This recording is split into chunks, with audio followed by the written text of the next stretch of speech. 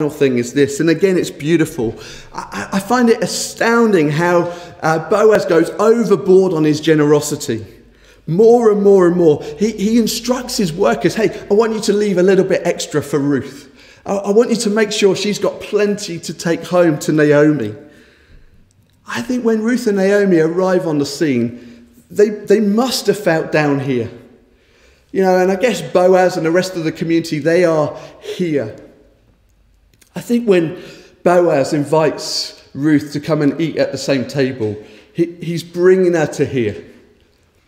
But now, when we see this incredible generosity, it's almost like he's trying to take her to here. Incredible generosity, incredible treatment. Even later on, he's, he's creating space for more provision to go back into their household. Look, Boaz, he could have been indifferent. He could have overlooked her. He could have kept them at the margins. He could have left them exposed, uncovered, at risk, given them no opportunity. But as we move into chapters 3 and 4, we see this moment where Ruth comes to Boaz and says this famous phrase Spread your wings over your servant, for you are a redeemer. And we see that he has made every ability to cover her. He's used his position. He's used his standing in the community. Read about how he contends at the gate with the elders for them. He uses his wealth. He uses his position in the family.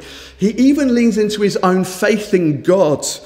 When, when Ruth earlier is saying, you, have spread your wings over, you've, you've taken, you've been so generous, he essentially says, no, it's God's wings.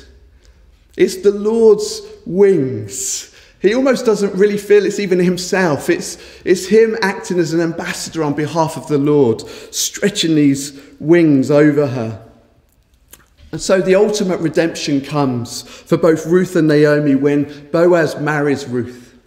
And they have a son together. And when we read the end of Ruth, the book of Ruth, we see the genealogy that runs from Obed down to King David. And we know that that genealogy from Scripture goes from King David through to Jesus Christ. And as we see that genealogy run, we're meant to see something of ourselves in this story of Ruth, Boaz, and Naomi.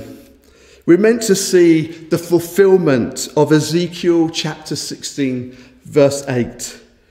It, it comes up on the screen now. It says, Later I passed by and when I looked at you and saw that you were old enough for love, I spread the corner of my garment over you and covered your naked body. I gave you my solemn oath and entered into a covenant with you, declares the sovereign Lord, and you became mine. And so, for each one of us that's kind of zoomed in today, that's connected in today, there's incredible joy for us to see at the cross. There's incredible joy for us when we come to Jesus today. It's acknowledgement that each one of us has been seen and asked for. It's acknowledgement that God has invited us in through his Son, Jesus Christ. It's acknowledgement that He's protected us and He keeps on protecting us, that He's welcomed us to His table, the Lord's table. And each one of us have become recipients of incredible, amazing grace, such generosity that's been lavished on us through the cross. Through Christ, God has spread His wings over each one of us. If you're at home today, and you feel, hey, I, am vulnerable, I'm uncovered at the moment, I, I want to encourage you to pray to Jesus and to know the extending arms of God that come over your life.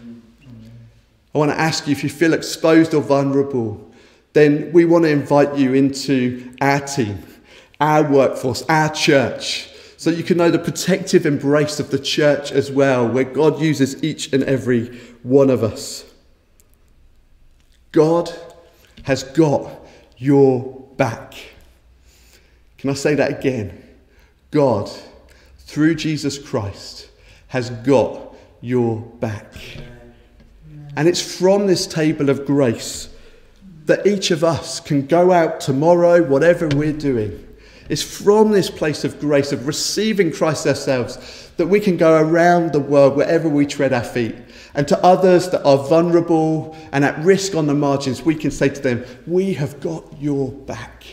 By the grace of God upon our lives, we too can stretch wings over people in this church, in society, on the margins, and express the love of God wherever we go.